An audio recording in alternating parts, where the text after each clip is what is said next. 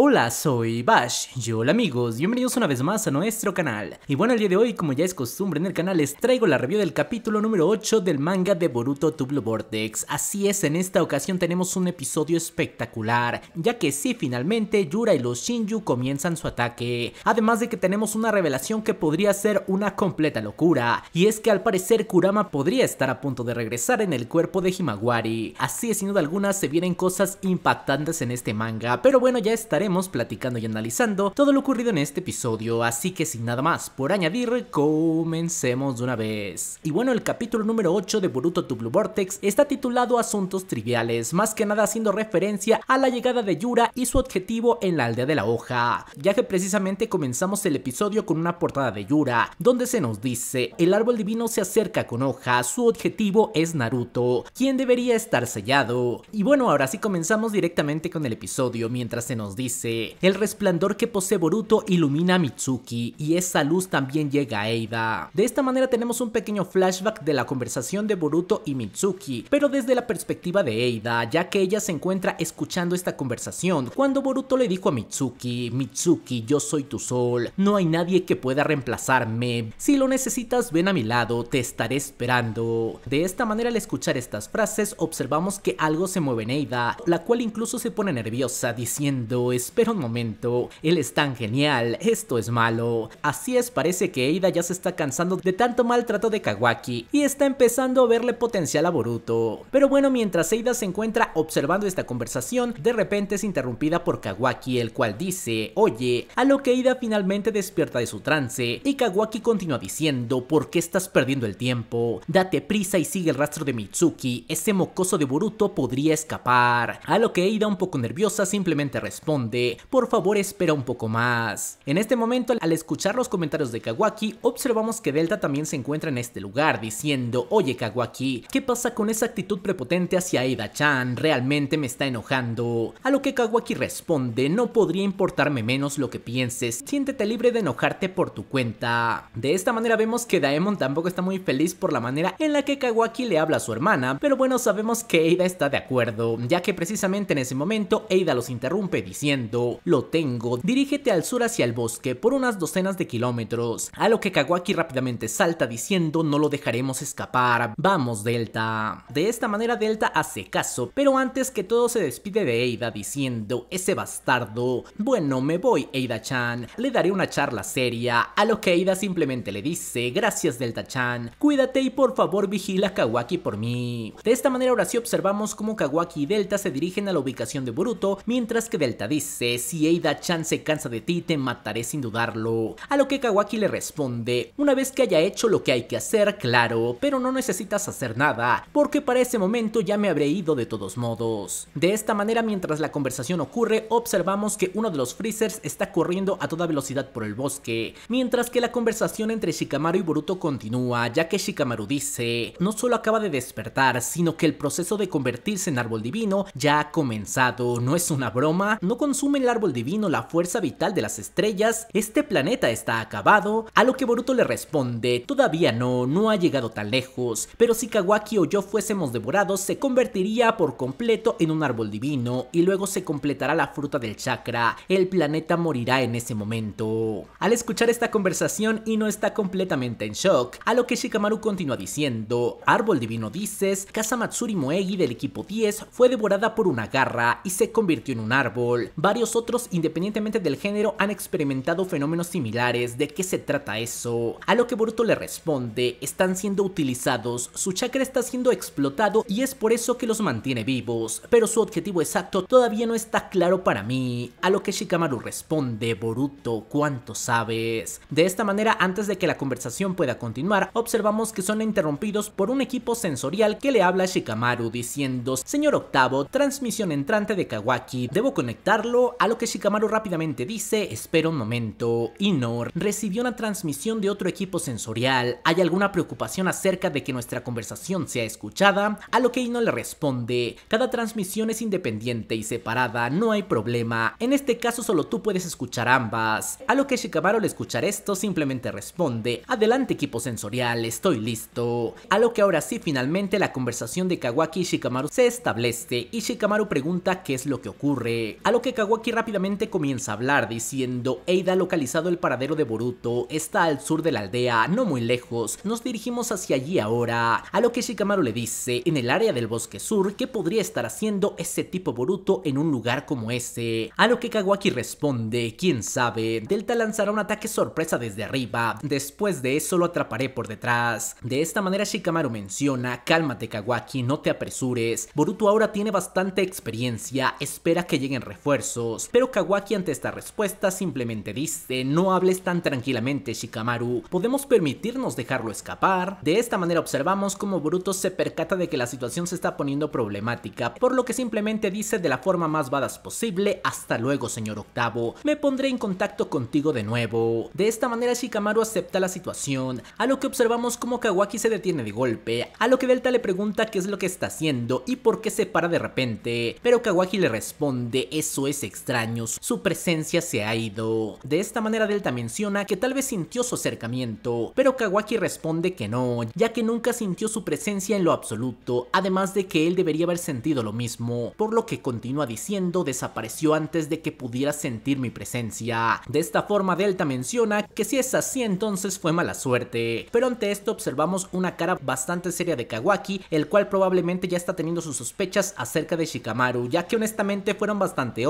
es decir, justo cuando Kawaki le informa a Shikamaru que van tras Boruto, en ese momento Boruto escapa. La verdad es que aquí la inteligencia de Shikamaru no se lució tanto. Pero bueno, en este momento cambiamos de escenario para dirigirnos una vez más con Eida y Daemon, los cuales son visitados por el mismísimo Mitsuki, el cual menciona, ah, entonces estuviste aquí todo el tiempo, me entrometí en algo, a lo que Eida le dice, estoy sorprendida, no pensé que le harías eso a Kawaki, a lo que Mitsuki pregunta si acaso está enojado, pero Eida le responde, me preguntó y me dijo que te buscara, pero el propósito era simplemente encontrar a Boruto, tan pronto como supo su paradero se fue volando, a lo que Mitsuki dice, para él enojarse conmigo sería una pérdida de tiempo, ¿no? Y Daemon sintiéndose un poco incómodo simplemente menciona, oye, lo que dices es extraño. De esta manera Mitsuki continúa diciendo, en realidad no, esto es una pérdida de tiempo, al menos eso es lo que pensé durante mucho tiempo. Eida, no sabía que era el amor hasta que te conocí. De esta manera Eida le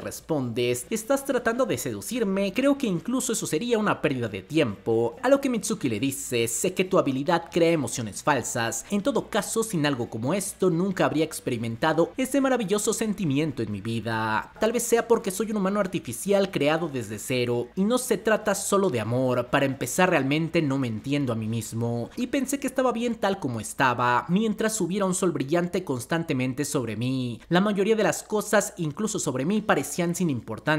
eso es lo que pensaba, pero estaba equivocado. Si yo, sobre todo, no puedo afirmarme, terminaré perdiendo de vista las cosas sin siquiera darme cuenta, mi cosa más preciada. De esta manera, Eida al escuchar las palabras de Mitsuki se sorprende diciendo, Boruto te hizo darte cuenta de eso, bien por ti entonces. A lo que Mitsuki le dice, es un poco presuntuoso de mi parte decir algo como esto, pero creo que somos similares en algún sentido. ¿Por qué te gusta Kawaki? Ni siquiera sabes la razón. A lo que Eida le explica, el amor es así, ¿no? Solo pensar en él hace que tu pecho se sienta apretado, porque eso no importa. No puedes entender por qué estás atrapado en un amor falso, impulsado por mi habilidad. A lo que Mitsuki le responde, es cierto, tal vez no pueda, pero tenía miedo. Cuando sentí que lo que creía que era mi sol podría no ser real, tuve miedo de perderlo. Intenté no pensar si ese sol era genuino o no. De esta manera Aida pregunta, ¿estás insinuando que solo soy una persona ingenua enamorada y que no puedo ver lo obvio? A lo que Mitsuki le dice, no quise decir mucho, pero tal vez fue un poco, no lo sé, presuntuoso. De esta manera Aida le responde, está bien si digo lo que estoy pensando ahora, estamos realmente hablando de amor y esas cosas, me encanta ese tipo de cosas, es genial. A lo que al escuchar esto observamos como Daemon se pone un poco incómodo y Mitsuki se sonroja mientras menciona, bueno, tal vez realmente no importe. De esta manera ahora Eida tiene nuevamente un flashback de Boruto,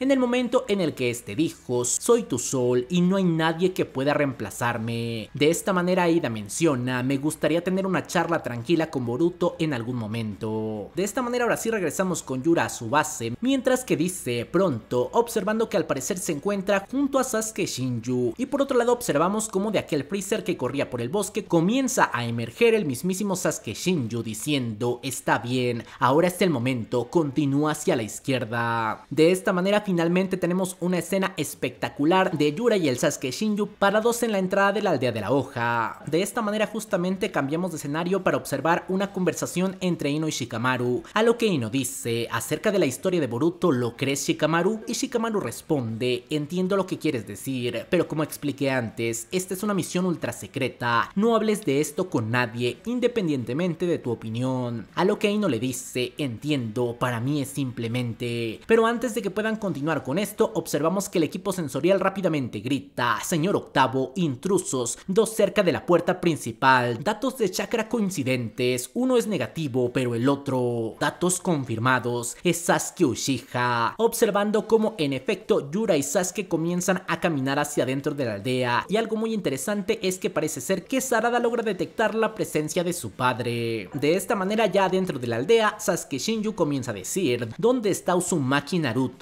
A lo que Yura le responde, no sé su paradero, sin embargo sí sé una cosa. Pero antes de que puedan continuar con la conversación, un escuadrón de ninjas aparece frente a ellos mientras dicen, no se muevan, ¿entienden? Si dan un solo paso más, serán considerados enemigos. Tú ahí, Sasuke Uchiha, ¿verdad? ¿Cuál es tu propósito al entrometerte? De esta manera, ahora regresamos con Shikamaru, quien dice, sigue el procedimiento, prioriza la evacuación de los civiles. A lo que también vemos rápidamente cómo Eida interviene diciendo, Shika-chan. Y Shikamaru le dice, Eida, lo siento, pero estoy ocupado ahora mismo. A lo que ella comienza a decir, ¿podemos hablar de los intrusos? He visto algo como esto antes, perdón por la demora en informar, son los 10 colas y de alguna manera tienen conciencia de sí mismos, no hace falta decir que son enemigos de Konoha. Y mientras se dice esta frase, observamos cómo el escuadrón que había interceptado a estos dos ha sido completamente masacrado, sin duda alguna demostrando la bestialidad de Yura y compañía, y que obviamente su es demasiado alto para que cualquier ninja normal quiera interceder ante él. De esta manera ahora observamos cómo Yura y Sasuke Shinju comienzan a caminar por la aldea, mientras que Yura dice, mira a la izquierda, hay una librería, esto es fantástico, parece que podemos esperar algunos encuentros inesperados aquí, mientras que Sasuke Shinju una vez más dice, está aquí Naruto Uzumaki, pero Yura está distraído con otra cosa, diciendo, interesante, para mí el punto clave es decirlo con seriedad. Pero bueno, antes de que Sasuke Shinju pueda entrar a la librería, observamos cómo recibe un ataque, el cual esquiva con extrema facilidad, para después revelarnos que al parecer es el mismísimo Kawaki el que ha aparecido frente a los dos Shinju, lanzando una patada en contra de Sasuke, el cual logra soportarla y mantenerse en pie. De esta manera Kawaki dice, ¿quién diablos eres? ¿Qué estás haciendo aquí en Konoha? A lo que Yura responde, será mejor que no estés causando problemas frente a la tienda, arruinarás el tesoro escondido, Kawaki. De esta manera vemos cómo Kawaki es atacado por una especie de ramas de árbol que surgen desde el suelo, y pareciera que el final de Kawaki se acerca, pero rápidamente en ese momento él utiliza la técnica Sukuna Hikona, con la cual es capaz de reducir su tamaño para escapar del ataque, y posteriormente aparece a las espaldas de Yura para contraatacar, observando cómo al parecer ya ha activado el nivel 1 de su karma, pero parece ser que esto no es suficiente, ya que Yura rápidamente golpea el brazo de Kawaki destrozándolo en un instante, a lo que Kawaki queda muy impactado sin saber qué es lo que está pasando y Yura le dice, no te mataré todavía, quédate ahí Otsutsuki, observando cómo después de esto le lanza un puñetazo directo al rostro, con lo cual este se impacta contra un tanque de agua, observando que al parecer Kawaki ha sido derrotado de un solo golpe, una completa locura. De esta manera Delta rápidamente acude en su ayuda, mientras que vemos cómo Yura se distrae ya que al parecer finalmente ha detectado la presencia de Naruto Uzumaki. De esta manera observamos cómo Delta se encuentra preocupada por Kawaki diciendo,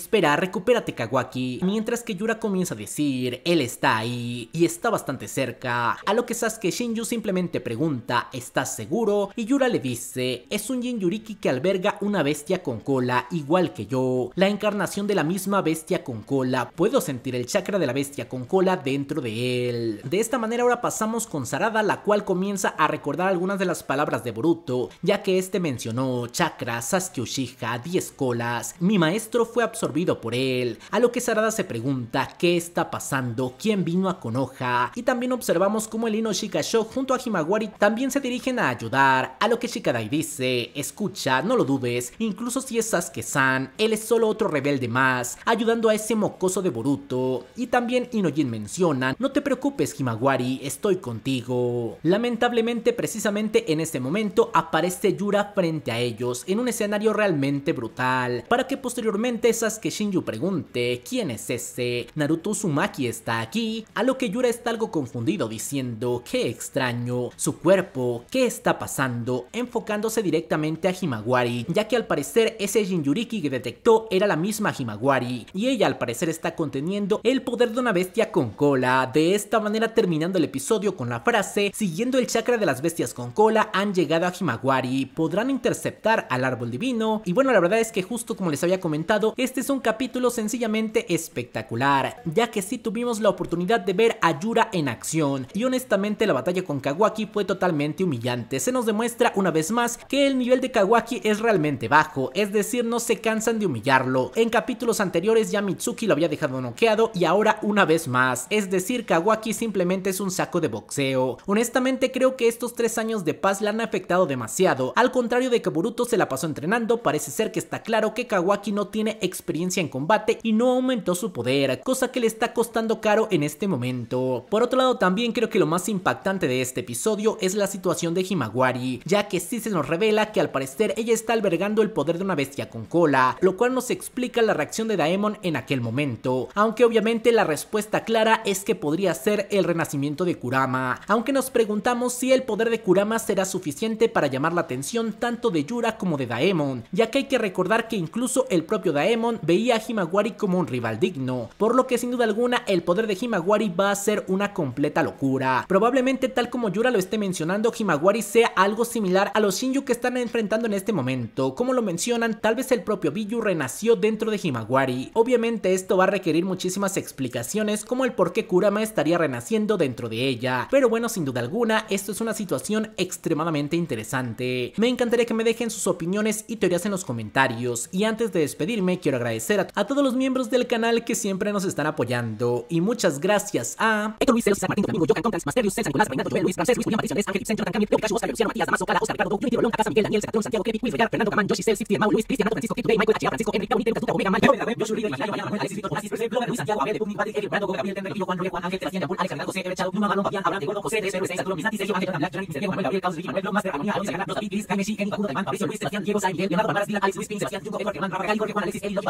Mañana, Ricardo, Alex, Des, Miguel, Miguel, Andrés, Iván. Informe Cristian Nopis, Ferran, Elvis, Marta, José, Cristian, Diego, Manuel, Alejandro, Ryan, Emiliano, Jessy, Israel, Johan, Pablo, Pablo, Víctor, Gabriel, Henry, Rogen, Smith, Leon, Axel, Tesones, Songa, Juan, Jorge, Miguel, Juan, Ángel, Daniel, Ángel, Cristian, Steven, Marcos, Cami, Mario, José Luis, Ángel, Jason, Chiquitín, José, Apolio, Nesmat, Tabada, Jeremy, Yoshi, Joel, Campos, Cristian, Kensi, César, Jorge, Rafael, Frankie, Culeaba, Ángel, Tyson, Joshua, Sebastián, Más, Estefan, José, Bermón, Luis, Jake, Aire, Jorge, Michael, Diego, Gael, Rodrigo, Diego, Fernando, Mateo, Juan, Elias, Juan, Saez, Rubén, Kelly, Ángel, Rodríguez, Luis, Arturo, Héctor López, Bebe, Notis, Fabio, José, Santi, Roy, José, Néstor, Ramírez, Sergio, Jorge, Ángel, Bondi, Julia, Arnaido, Goba, Tobias, Jorge, Gael, Miro, Bama, Pro, Abraham, Rodrigo, Hey, Zap, Lana, Stewart, Niño, Adriana, Diego, Sergio, Olivia, Edwin, Alex, Carlos, Alex, Bernardo, Edwin, Renato, José, Cristian, Diego, Carlos, Jesús, Juan, Eric, Carlos, Johnny, Félix, Carlos, Abraham, Julián, José, Silver, Rock, Max, Demon, Pablo, Carlos, Pepe, Matías Flores, Edu, Sabe, Contra, De John, Peter, Dave, Juan, Manuel, Cover, Borges, Camilo, Valencia, Pérez, Iker, Víctor, Eduardo, Mauricio, Briga, Inge, Barman, Helder, Carlos, Pablo, Antonio, Jaden, Papitas, Wilber, Itaes, Isabel. Luz, Luis, Marco, Leandro, Gerson, Rubén, Kennedy, Steve, Henry, Steve, Carlos, Luis, Alejandro, Carlos, César, Manchas, Francisco, Nico, Iván, Francisco, Frank, Alvin, Nova, Auca, X, Yoshi, Punta, Leo, Jason, Patricio, Diego, Alpari, Wilber, Carlos, Aya, Franco, Juan, Fede, David, Juan, Barcia, Carlos, Rey, Alejandro, Alex, Jorge, Eli, Nasa, José, Kevin, Sebastián, José, Omi, Carlos, Gisela, Patata, Luta, Frank, Gaza, Rodolfo, Brian, Juan, Bosa, Diego, Bryce, Madre, Bryce, Roberto, Carlos, Kevin, José, Enrique, Isaac, Jumbes, Alex, Chris, White, Luta, Miguel, Long, Gabo, Ismael, Babel, Brian, José, Naruto, Daniel, Patricio, Cintia, Gisela, Watching, Boss, Lana, Saúl, Miguel, Darío, Rodríguez, Juan, Felipe, Pablo Chávez, José, Eric, Susana, Borges, Gabo, Elena, José, Esparta, Marco, Brando, Rey, Ronnie, Saúl, John, Francisco, Nicolás, Lucas, Diego, Rodríguez, César, Isaac, José, Carlos, Coco, Radio, Leo, César, Carlos, César, Ismael, David, Persa, Ricardo, Kevin, José, Juancito, John, Díaz, Villar, Robert, Junior, hasta Casa, Juan, Luis, H. Jesús, Alex, Calle, Eric, Rodrigo, Yoshi, Edgar, Alex, Alex, Alex, Vega, Mauro, Isaac, Diego, Musa, Micro, Matías, Carlos, Dan, Francis, Jarim, Dos Discos, Jonathan, Chris, Juan, Almas, Esa, Sara, Axel, John, Víctor, Víctor, Francisco,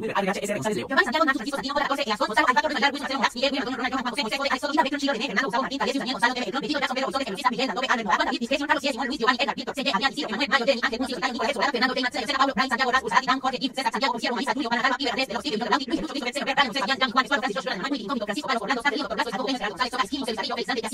de